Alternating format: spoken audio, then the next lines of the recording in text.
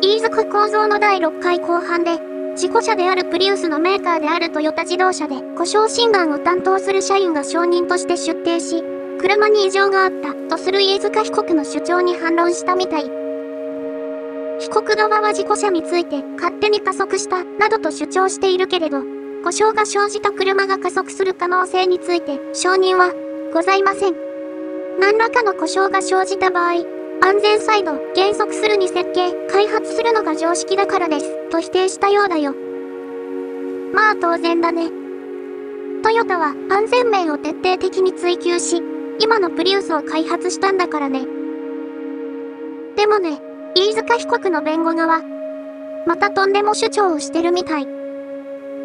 飯塚被告の弁護側は、なんと、気温変化で車の電子制御システムに誤作動が生じる可能性があると指摘してるみたい。本当に往生際が悪いよね。何が気温変化だよって感じだよね。この気温変化誤作動主張については、もちろんメーカーの技術者も否定しているし、睡眠も次のようなツイートを上げてるんだよ。L は、まあ、砂漠や北極で実際に走ってるトヨタの車が、日本で壊れるわけないよな。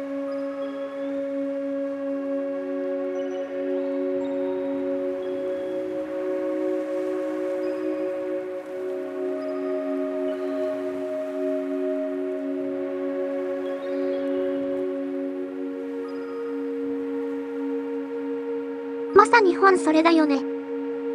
寒冷地から砂漠まで走ることを想定して作られた車なんだから、弁護側の主張は完全に破綻してるんだよ。ネットでも、あのプリウス20は世界中で120万台以上販売されているんだけど、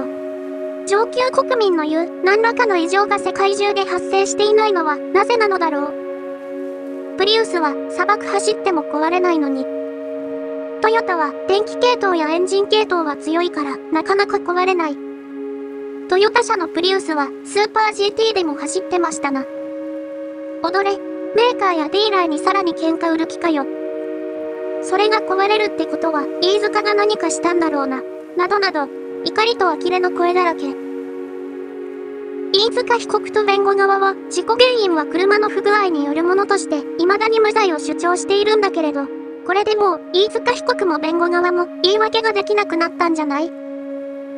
ここまでプロの技術者に正論をぶつけられても、飯塚被告と弁護側はまだ無罪を主張するつもりいい加減自分の犯した罪を認め、被害者遺族に誠心誠意謝罪し、罪を償うべきだよ。見ていてあまりにもみっともないよ。いい大人というかいい老人が、自分の保身のために意地でも無罪を主張する姿を、多くの国民が見てるんだよ。それを恥ずかしいことだと思うべきだよ。いい年こいて、あまりにも情けないよ。